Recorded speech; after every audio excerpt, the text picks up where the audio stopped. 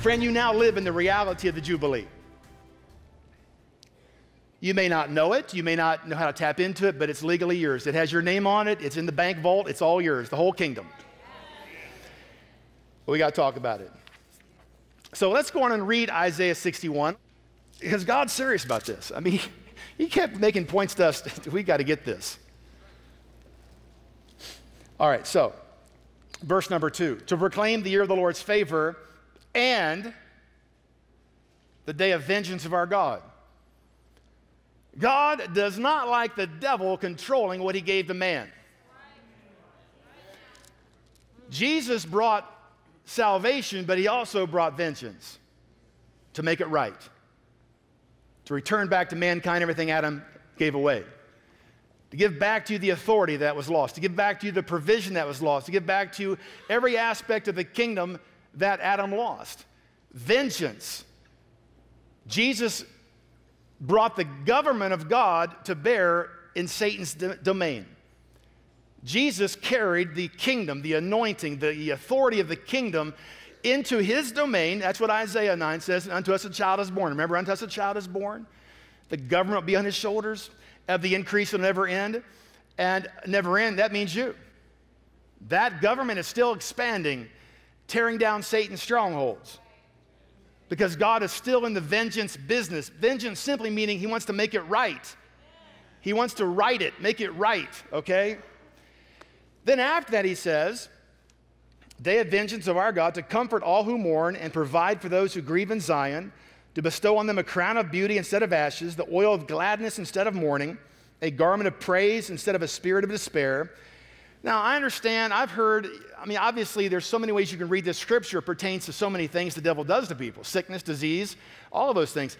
They're all included in this covenant. But if you start the whole paragraph, he's talking about preaching good news to the poor. To comfort all who mourn and provide for those, provide for those who grieve in Zion. To bestow on them a crown of beauty instead of ashes, the oil of gladness instead of mourning, a garment of praise instead of a spirit of despair they will be called oaks of righteousness, a planting of the Lord for the display of his splendor. An oak is a pretty sturdy tree. These are no longer nomads, friend.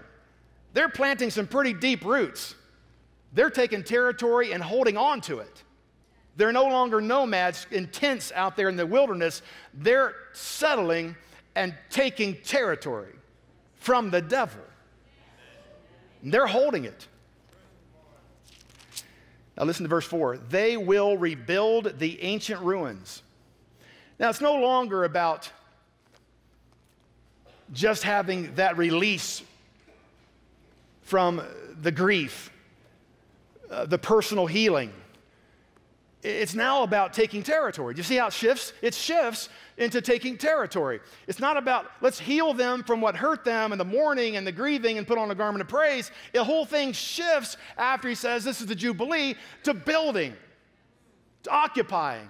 He says they'll rebuild the ancient ruins, restore the places long devastated. The Hebrew word means desolation.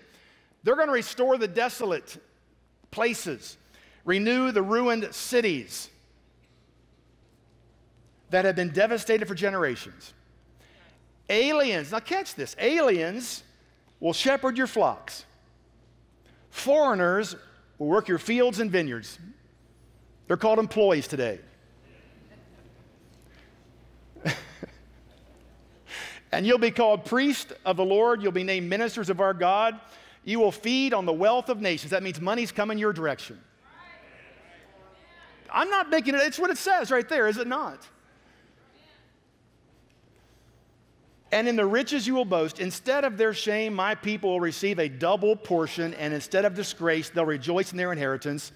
And so they'll inherit a double portion in their land. Everlasting joy will be theirs. For I, the Lord, love justice. I hate robbery and iniquity. In my faithfulness, I'll reward them and make an everlasting covenant with them. That's you. Their descendants will be known among the nations, and their offspring among the peoples. All who see them will acknowledge they are a people the Lord has blessed. Did you see the shift? The Jubilee is about occupying, taking territory. The land's given back. You're no longer a slave, you're an owner. Let me say it again. You're no longer a slave, you're an owner. Yes. Which means any profit you make, you get to keep. Yes. So how much do you want to make? All right. We can see here that when Isaiah was talking, he's talking about a way of life that is just totally foreign to a slave. I mean, you have to shake your head and go, Did I read that right? Is that possible? Right? Feed on nations. Nations will call you blessed. Building houses, building cities, taking territory, expanding, putting the stake down for the kingdom of God. People are all benefiting by these cities being built. People's lives are being changed. The kingdom of righteousness is moving forward. People are finding peace.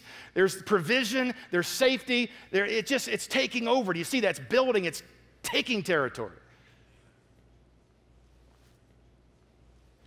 People are free to be on assignment. They're called priests and ministers of our God. Listen, in the uh, Leviticus chapter 25, when it talks about this uh, year of Jubilee, the 50th year, it says, verse 11 and 12. The 50th year shall be a Jubilee for you. In it you shall not sow or reap and store what grows of itself, or gather the grapes of the uncultivated vines.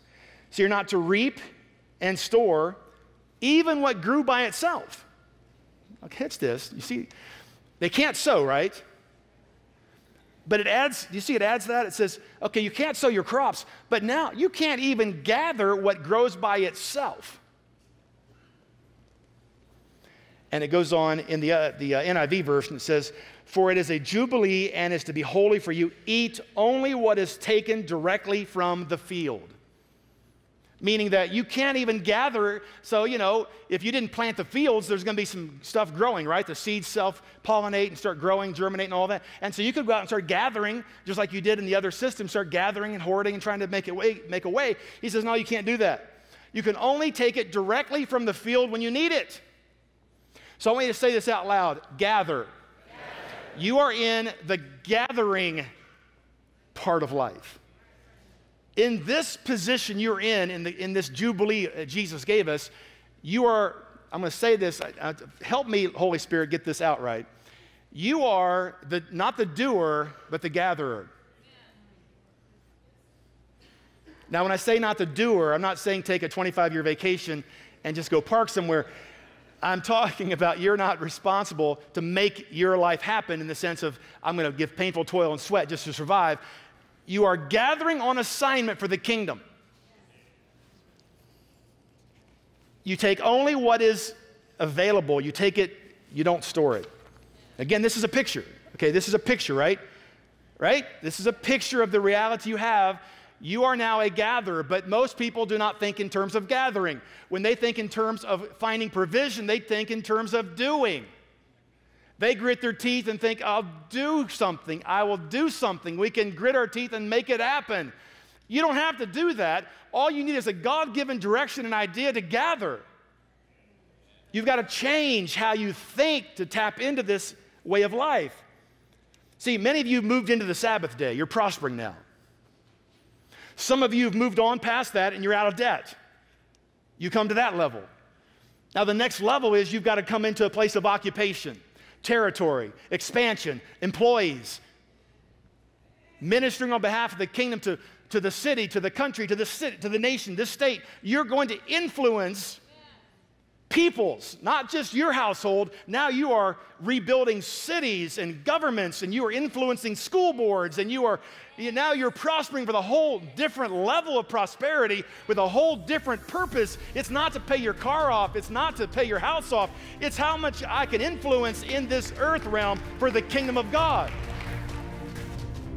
Hi, I'm Gary Keesee, and you will never fulfill your destiny until you fix your money thing. Visit GaryKeesee.com and don't forget to hit the subscribe button below for more amazing weekly videos on fixing your money thing. And thanks for watching.